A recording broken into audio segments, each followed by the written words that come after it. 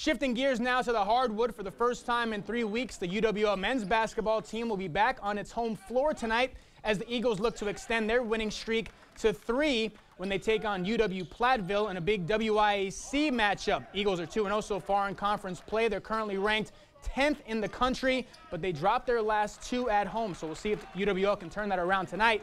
Highlights from this one coming up at 10.